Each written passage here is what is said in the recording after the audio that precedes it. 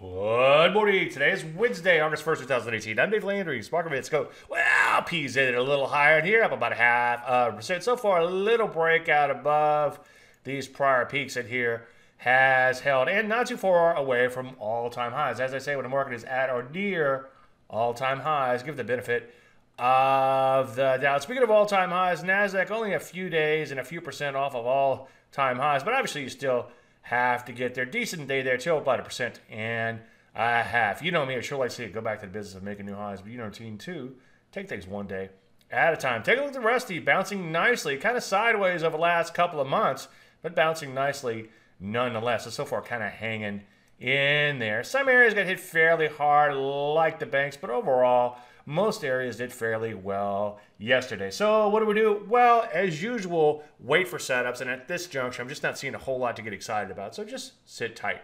Any questions? Dave at DaveLandry.com. I'm Dave Landry, and you just heard Market In A Minute.